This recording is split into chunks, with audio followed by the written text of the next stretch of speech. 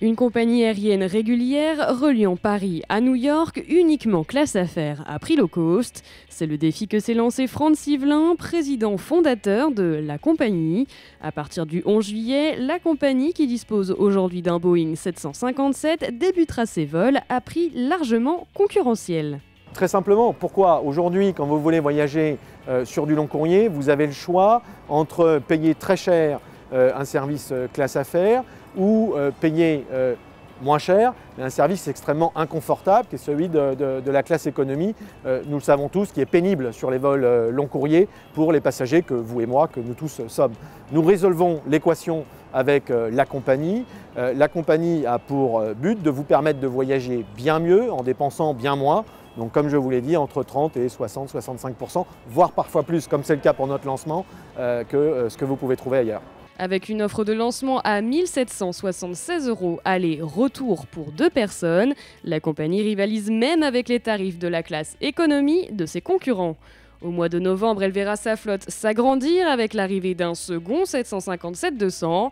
La compagnie pourra ainsi proposer à sa clientèle des vols quotidiens et ne compte pas arrêter là son expansion. La société est capitalisée à hauteur actuellement de, près de 30 millions d'euros, comme je l'ai dit. Elle n'a pas de dette, il n'y a pas d'emprunt bancaire c'est 30 euh, millions d'euros euh, de pure equity qui ont été investis dès le départ. Paris-New York, c'est une ligne à, haute concentration de clientèle euh, premium.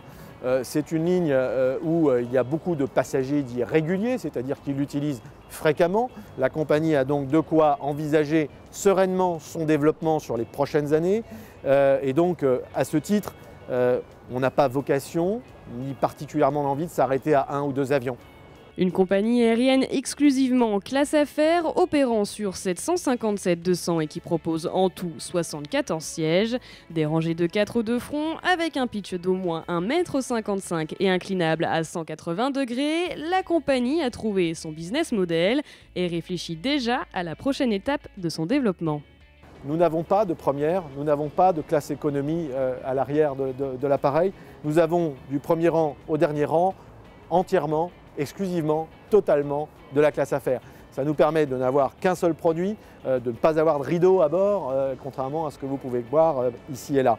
Donc c'est vraiment un produit entièrement, exclusivement classe affaires. Est-ce qu'on augmentera nos fréquences sur l'axe Paris-New York? Est-ce qu'on ouvrira une autre route?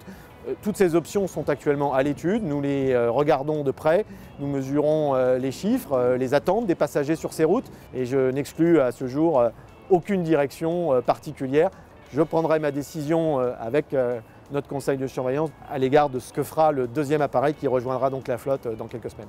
Avec environ 1 800 000 passagers par an à faire le trajet Paris-New York, la compagnie se place sur un marché à forte demande.